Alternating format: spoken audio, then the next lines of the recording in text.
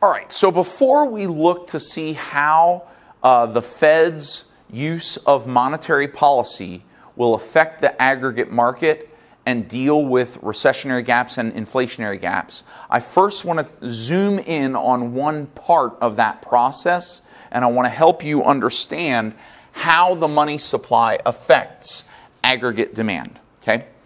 All right, so uh, we already learned that changes in the money supply. So we're going to go over here to the money market. And we're going to say in the money market, okay, we have the interest rate is the price of money. And then we have the quantity of money. We know that we have money demand. And we know that the money supply curve is a vertical line, at least in the United States it is, because it is directly controlled by, well, mostly directly controlled by the Federal Reserve. Okay? Now, what can happen here is I'm going to, uh, actually give you two graphs. We're going to do two of them. We're going to do one for increasing the money supply and one for decreasing the money supply. So we'll do another graph down here. We got money demand. We have vertical money supply curve. Okay. So up here, we're going to see what happens when the money supply increases. Okay, what happens to aggregate demand? So over there, I'm actually going to put a, uh, a mar aggregate market graph. And so here we'll have real GDP on the horizontal, and then we will have uh, price level on the vertical, right? And I'm not going to draw a short run aggregate supply curve or a long run aggregate supply curve. I'm just going to write the draw an aggregate demand curve because that's all we care about in this particular segment of the lesson. Okay, and then down here I'm I'm going to draw exactly the same thing. Uh, aggregate demand, uh, real GDP, and price level. Okay. All right. So over here, when the money supply increases, when the money supply increases that's a rightward shift of the money supply curve in the money market. Okay, and so this is money supply prime. And you can see here that where it now intersects with money demand, we have a lower interest rate. So we have IR prime. That's a decrease in the interest rate. Okay. Now the question is, well, what's going to happen to other things when the interest rate decreases? Well, we know that the first thing that happened was we had a decrease in the money supply, and then that led to a, excuse me, that's an increase in the money supply. Sorry about that. We had an increase in the money supply, which led to a decrease in interest rates.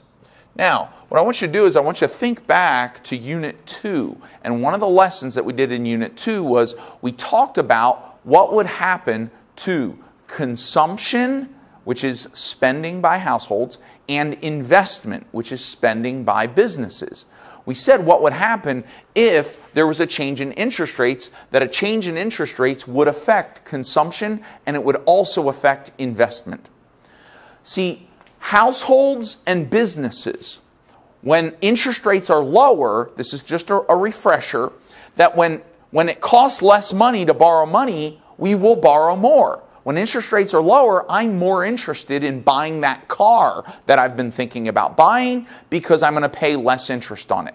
And so, when interest rates are lower, that leads to an increase in consumer spending.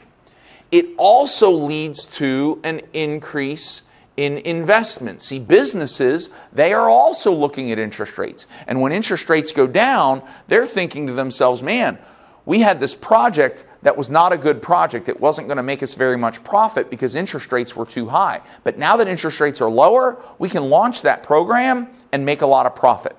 So, a decrease in interest rates results in an increase in, in consumption, an increase in investment, and both of those are the large, probably the, uh, we understand, the largest components of total expenditure. So, an increase in investment and an increase in consumption will lead to an increase in total expenditure in the economy.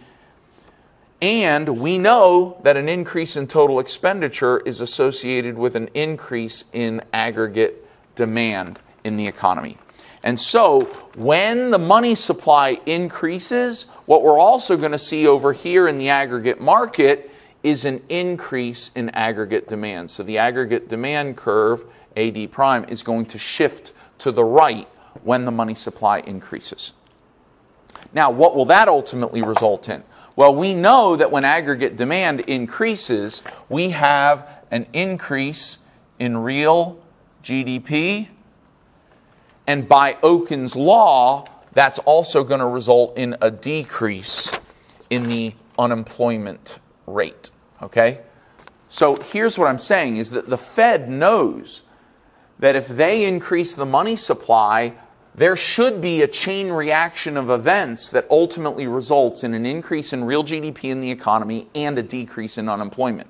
So when there's an unemployment problem in the economy, the Fed knows that they have monetary policy tools that they can use to affect the unemployment rate. Now, that doesn't mean that they should affect the unemployment rate. It just means that they know they have to meet up and talk about whether they should be doing something about the unemployment rate if it is too high. Okay? All right, so that is an increase in the money supply. Uh, now let's talk about a decrease in the money supply. When the money supply decreases, okay, let's go to our, our money market graph over here. That's going to be a leftward shift of the money supply curve. Now, this is our starting interest rate. This is our equilibrium interest rate at that level. A leftward shift of the money supply curve would then put it over here. And now we're going to have MS money supply prime. And you can see here that this is the new intersection of money supply and money demand, and that that is higher. Now, RI prime, interest rate prime, we have an increase in the interest rates. And so, the, our first link up here is that a decrease in the money supply will result in, a, in an increase in interest rates. Well, that means it's going to cost more money to borrow money from the bank. So consumers and businesses don't want to borrow money. It's, it's more expensive to borrow money, so they're going to spend less. So consumption will go down and investment will go down. And when these two very large components of total expenditure decrease, when both of them decrease, that means that total expenditure itself will decrease. And a decrease in total expenditure in the economy is associated with a decrease in aggregate demand. Okay? And so a decrease in aggregate demand means a leftward shift of the aggregate demand curve, shift over to the left, and we now have aggregate demand prime. Okay? And let me remind you that we know that when aggregate demand decreases, that that results in a decrease in real GDP. And by Okun's law, an increase in the unemployment rate, meaning there will be more unemployment. We will produce less stuff and more people will be out of work if the Fed decreases the money supply. Okay? And they know that this can happen. We have seen this, you know, we've been through this. We have so much experience in the economy. We've seen this happen many times. Okay? So, uh, this is how the money supply affects aggregate demand. And now we can take you to the final chapter in our macroeconomics journey, which is how monetary policy is used by the Fed to close recessionary gaps and close inflationary gaps.